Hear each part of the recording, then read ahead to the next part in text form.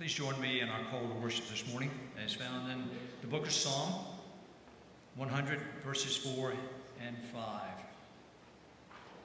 Enter his gates with thanksgiving and his courts with praise, and give thanks to him and praise his name.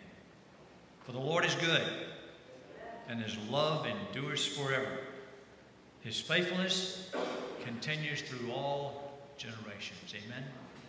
Amen. Let's worship.